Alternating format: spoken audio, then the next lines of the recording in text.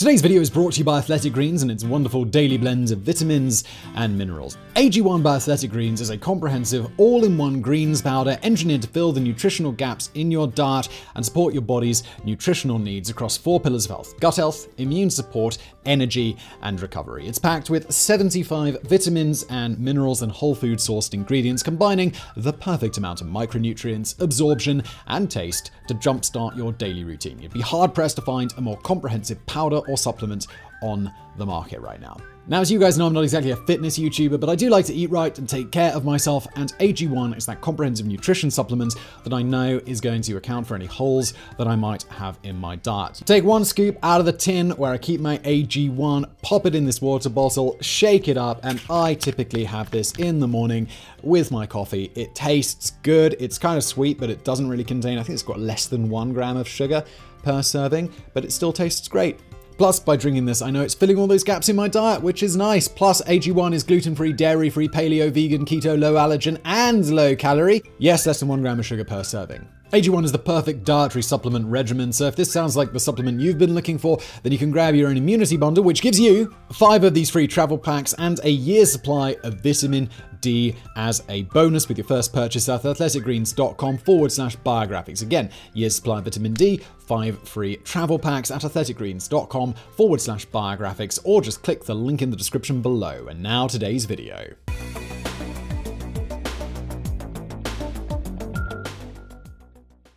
King Henry V, too famous to live long, England ne'er lost a king of so much worth. Those are the immortal words of William Shakespeare, used to describe our subject in today's video. King Henry V had a short life and an even shorter reign, so why is he remembered as one of England's greatest monarchs? Three simple words Battle of Agincourt. Widely considered one of England's greatest victories against its perennial enemy France, it turned the tide in the Hundred Years' War and poised Henry to become the dual monarch of both nations. Whether or not this actually happens, well, let's find out as we explore the life and the reign of Henry V.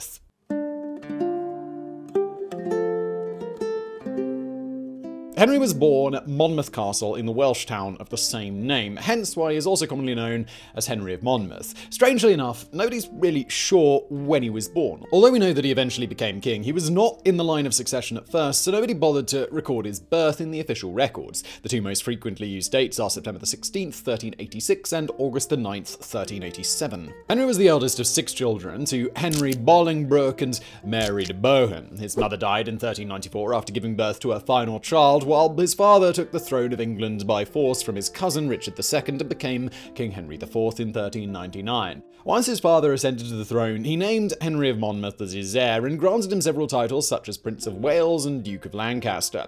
Although he did not expect it, Henry embraced his new role, considering it his destiny to one day rule over England and conquer France. He was enthusiastic when it came to learning all aspects of government, but he was absolutely enthralled when it came to military matters. That being said, he was still a young man, one with absolute wealth, power, and privilege, and he'd like to use them to his advantage when it came to letting his hair down. Several medieval sources described Henry as being somewhat of a party boy in his youth, or an assiduous cultivator of lasciviousness, to use contemporary parlance. However, it seems that he got over his wild teenage phase pretty fast, by the time he ascended to the throne, he was better known for his piety than his partying. From a young age, it became clear that Henry was a skilled warrior and commander. His father, King Henry IV, not only encouraged his son's interest in all things military, but practically demanded it. He knew that all the books and training in the world were no substitute for the real thing, so he thrust his son into the heat of battle from an early age. This was partially done out of necessity, since King Henry IV had to contend with several rebellions during his reign and he needed all the good commanders that he could get his hands on.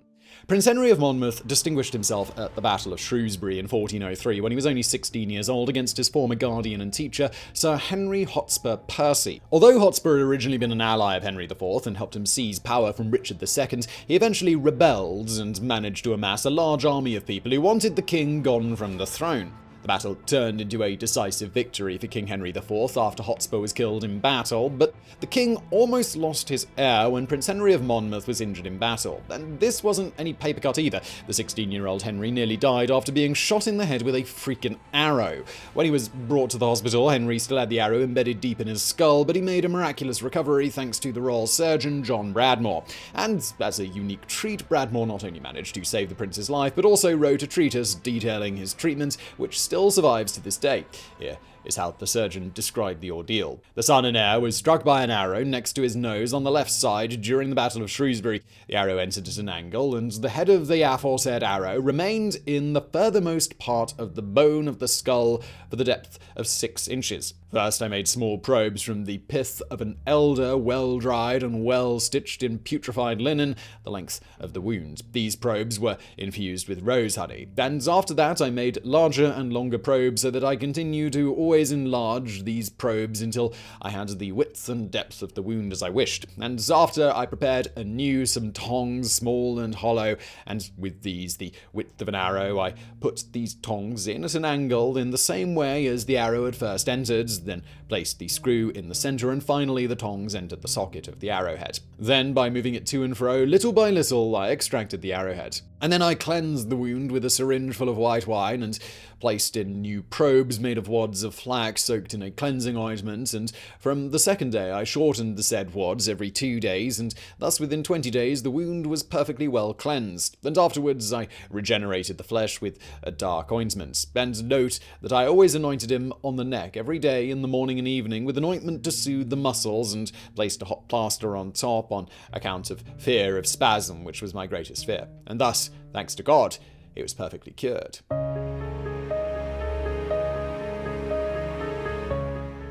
As you might imagine, taking an arrow to the face in the middle of a battle and living to talk about it earned Henry some serious bragging rights with his soldiers.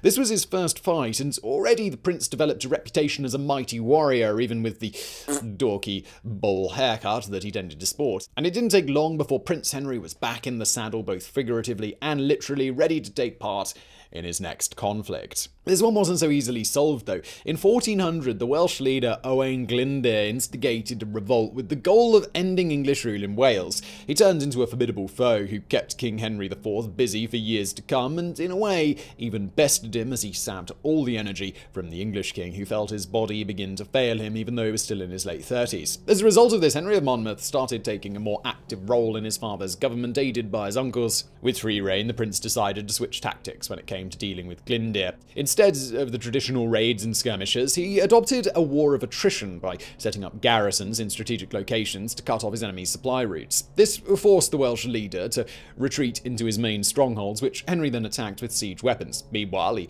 also offered pardons to Glyndŵr's allies, many of which took them when they saw the tide turning against them. In 1409, Glyndŵr lost his last bastion of safety, Harlech Castle, and was forced to retreat into the mountains. From there, he conducted the occasional raid, but he wasn't a serious threat anymore. Oh, Owain Glyndŵr disappeared completely from the historical record in 1412, and his ultimate fate remains a mystery. It's said that only his direct descendants know the location of his final resting place, and they're not in a sharing mood. As far as Henry of Monmouth was concerned, he impressed a lot of people with his military and ministerial skills despite his young age. By 1410, the prince had become the de facto ruler of the country as the commander of the royal council, but he soon found himself at odds with his father. The two of them disagreed over policies, specifically when it came to France, and although the prince had his supporters, his father was still the king, and his word was final. Fed up with his son's eager and rebellious nature, King Henry IV dismissed him from the council entirely in 14 1411. However, he did not take any more drastic steps, such as naming a new heir. This meant that for the prince, it simply became a waiting game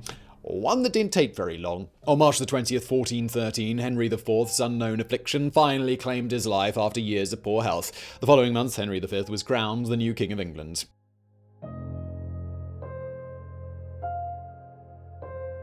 Now that Henry was the man in charge, he adopted a conciliatory approach.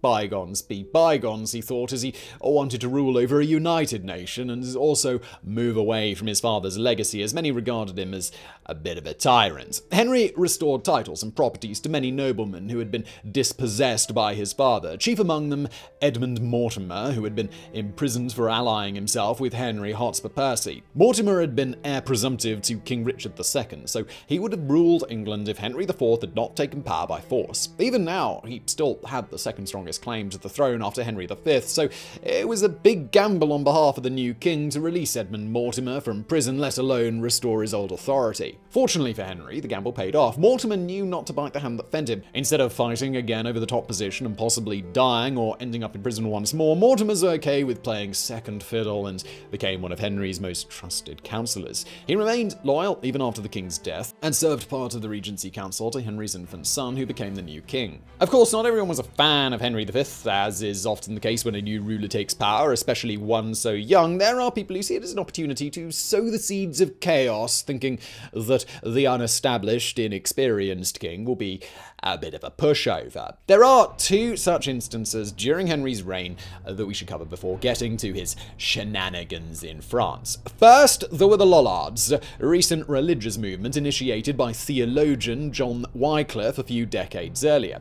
Up until Henry's reign, they were mostly tolerated, but he felt they were starting to gain too much traction, so he wanted to stop their momentum by arresting some of their more prominent members. Instead, the Lollards decided to fight back, an uprising took place in 1414, led by one of Henry's closest friends, Sir John Oldcastle. Previously, the king had even stayed Oldcastle's execution when he had been sentenced to death for heresy, but for the knight, his beliefs trumped his friendship with the king. Had a few hundred conspirators try to sneak into Henry's palace in disguise but their poorly planned plot had already been uncovered by the king's spies, and they proved no match for the troops waiting for them. Oldcastle himself managed to escape, while his co-conspirators were all hanged or burned at the stake. But his freedom was only temporary. Three years later, Oldcastle was captured and executed by being burned alive over a slow fire.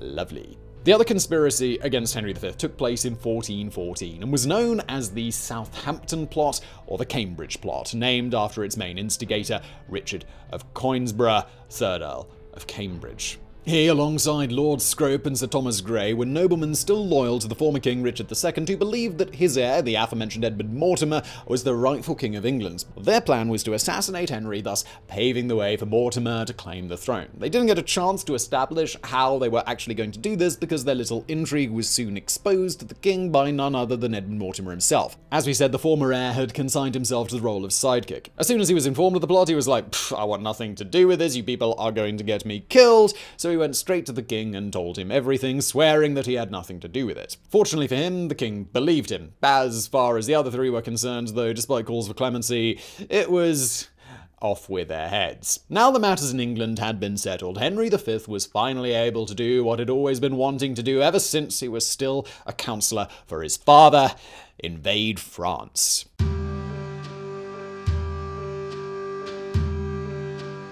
Henry's war against France was part of the larger conflict between the two nations known as the Hundred Years' War, which, despite its name, actually went on for 116 years. It also wasn't one continuous fight, but rather a series of wars separated by truces. When Henry invaded France in 1415, there had been peace between the two sides for over 25 years, ever since the time of his grandfather, John of Gaunt, who also spent most of his adult life fighting the French. The whole affair kicked off thanks to Henry's great grandfather, King Edward III of England, who said in 1340 that he had the rightful claim to the French throne. This was the kind of complicated and incestuous web of bloodlines that the European royals were really good at weaving, but the gist of it was that Edward III had been the closest male relative to the deceased French king, but he was related through his maternal line. The French, however, wanted someone related through a male bloodline, so instead they chose Philip VI as their new King of France. Ever since then, the English kings who followed Edward III gave themselves the unofficial title of King of France just to signify that they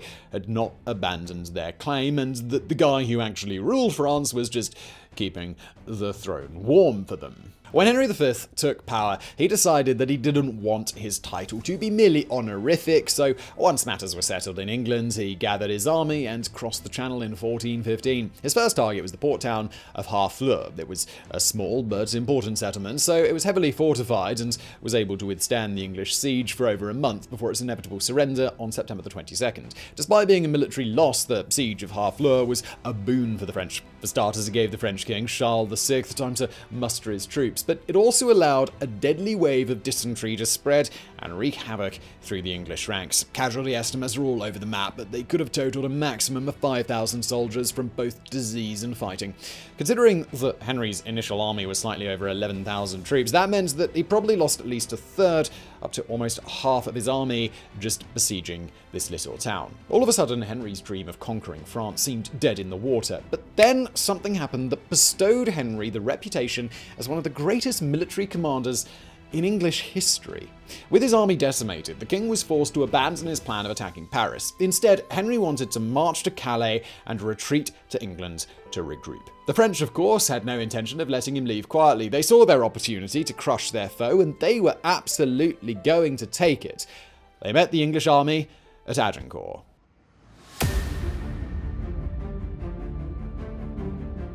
There is no definitive source on the size of the French army. Some claim 12,000, others all the way up to 30,000. Suffice to say that it was significantly larger than what Henry was working with, so the French military leaders regarded this fight as a mere bagatelle. On October the 25th, 1415, Henry proved them very, very wrong. Let's start with the battlefield. Although we're not sure of the exact location of the battle, witness accounts said that Henry lured the French army into the narrowest section of the field, wedged between two wooded areas in order to make it harder for them to maneuver. Movement was also heavily impeded by thick and slippery mud caused by heavy rains. There, knowing that the French had a strong cavalry, Henry erected a row of sharp stakes in front of his soldiers to stop the enemy's charge. Finally, he employed his secret weapon, the longbow. In past battles, the English longbow had proven to be devastatingly effective, so the French knights had no choice but to wear heavy armor that was thick enough to stop the arrows from piercing through. The battle that was supposed to be a gimme for the French soon turned into an absolute bloodbath. The rank and file soldiers were swiftly decimated by the never-ending hail of arrows, whereas the heavily armored men-at-arms were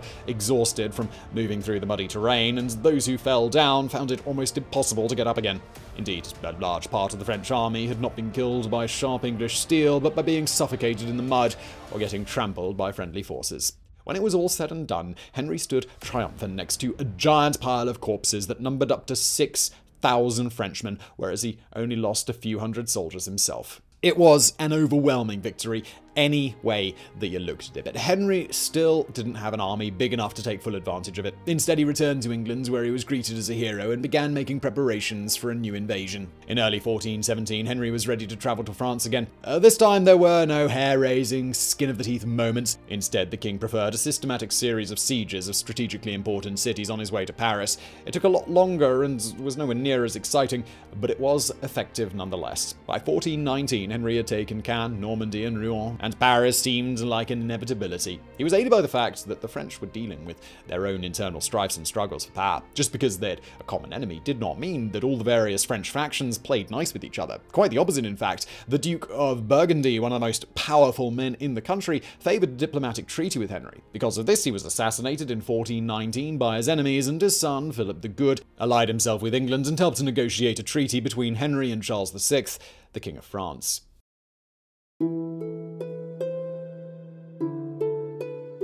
On May the 21st, 1420, England and France signed the Treaty of Troyes. Charles VI disinherited his eldest son, the Dauphin Charles VII, and married his daughter, Catherine of Valois, to Henry, who became the new regent of France and had his bloodline recognized as a rightful successor to the French throne. In other words, Charles was allowed to remain king while he lived, but once he bit the dust, the crown went to Henry or his sons. On paper, Henry had accomplished his goals. However, he knew that actually getting the treaty enforced was another matter. Because there was an ongoing power struggle in France, some factions had allied themselves with the Dauphin, and some kept fighting the English, hoping to reinstate Charles VII as the heir. They even brought in the Scottish on their side, since they were always down to kill a few Englishmen. This left Henry no choice but to return to France in 1429 for his third military campaign. This one, however, would prove to be his last. First, things went well. Henry once again adopted the safer strategy of prolonged sieges until his opponents surrendered. But just like at Harfleur, dysentery swept through the English camp and the king himself fell prey to its noxious clutches. Ultimately, it wasn't the arrows or swords of his enemies that befell King Henry V, but a lethal illness which took his life suddenly on August the 31st, 1422. Henry was only 35 years old at the time of his death, and he was quickly followed by the French king, who died two months later. This meant that his infant son, Henry VI, became the new king of England and France. But as you might expect, a lot of people weren't too keen on the idea, so the Hundred Years' War resumed once more.